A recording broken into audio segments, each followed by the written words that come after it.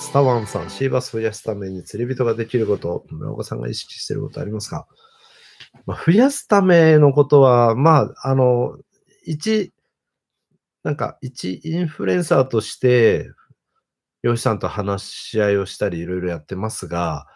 まあ、とりあえず減らさないことですよね。で、もう川の鈴木が、川の鈴木が大事だと思ってて、要は川の鈴木はもう97%ぐらいメスなんですね。でこれは研究してる先生がいるんで、大分の大野川でね、取られたデータですけど、まあ、全国的に間違いなく、ほとんどメスなんです。で、オスは、正直産卵の場所に集まるオスが半分になったって、そんなに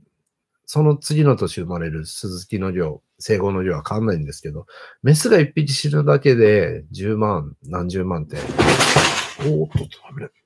針ケースが崩れた。はい、なんですね。だから、やっぱりメス一匹殺すと何十万という治療が生まれないで死んでしまうというですね。そういうことを分かって、だから本当は秋の河川釣りも、もう本当に徹底的に釣ってもいいけど、絶対殺さないようにリリースするスタイルとか、アメリカぐらいだったら多分禁漁になっちゃうんですよね。